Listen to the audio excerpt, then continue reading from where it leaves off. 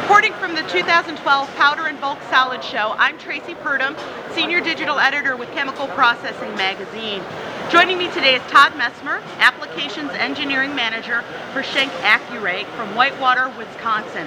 Todd, can you tell us a little bit about the MoveMaster Vac you're standing in front of? Good morning, Traci. Yeah, you bet. Uh, the MoveMaster Vac system was developed by our, our uh, sister company called uh, Clyde Process in the UK.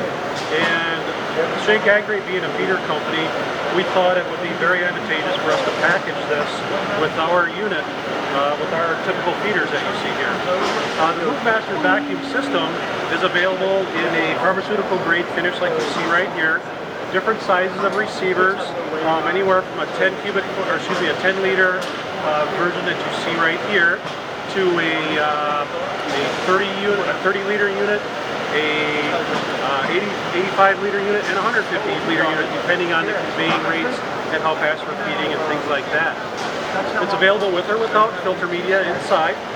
And like I said, the materials of construction will vary depending on the application. So this particular unit that you're looking at right here would be suitable for like a pharmaceutical grade type of uh, application or maybe a 3A dairy type application where you need that really high gloss finish and sanitary concerns are an issue. We do also have variants that will be available, uh, 304B glass finish and a painted carbon steel finish as well.